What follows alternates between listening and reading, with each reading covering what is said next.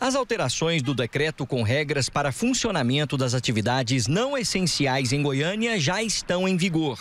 Em Campinas, uma região de comércio forte na capital, o movimento era bem tímido na manhã desta quarta-feira.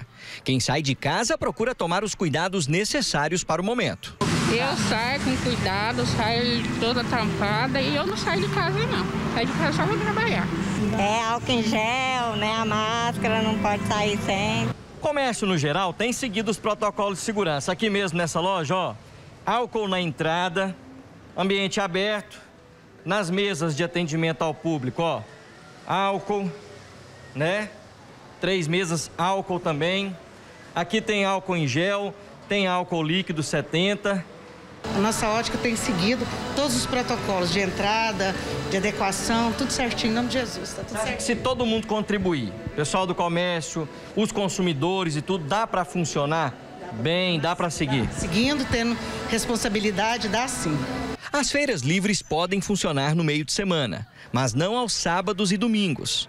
A feira funciona como um grande supermercado a céu aberto. Aqui, por exemplo, a gente está vendo aí, ó, distanciamento entre as barracas, fita de isolamento ali entre a barraca e o atendimento ao público. Igual aqui também, ó, aqui tem outro o cordão de isolamento. Aqui, por exemplo, é a barraca do pastel. Tem mais de 40 anos que esse pessoal vende pastel.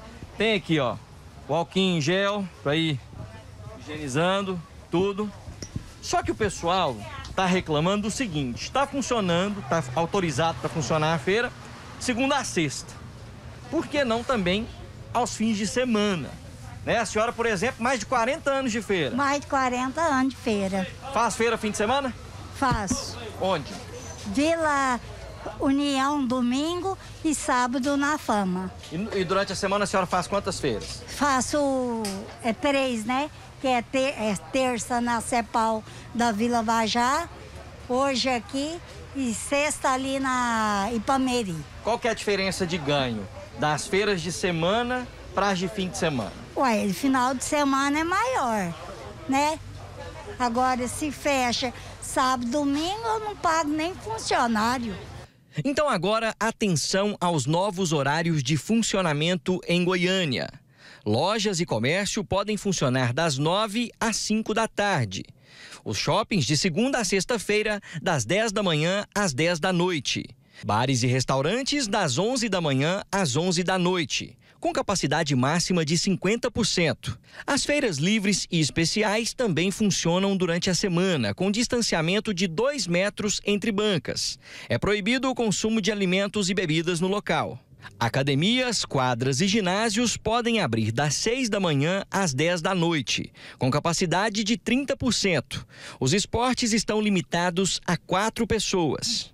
As escolas particulares podem continuar com as aulas online e também as presenciais, assegurando um metro e meio de distância entre alunos, professores e funcionários. Cursos livres funcionam com 30% da capacidade. Construção civil liberada de segunda a sexta-feira, desde que forneça transporte próprio aos empregados. Atividades de serviços podem abrir do meio-dia às 8 da noite, de segunda a sexta-feira. Distribuidoras de bebidas das 6 da manhã às 10 da noite. Atividades essenciais em Goiânia, cultos, missas e celebrações religiosas, 30% da capacidade e tendo intervalo mínimo de 3 horas entre cada celebração. Serviços de saúde continuam com atendimento ambulatorial com 50% da capacidade com agendamento prévio.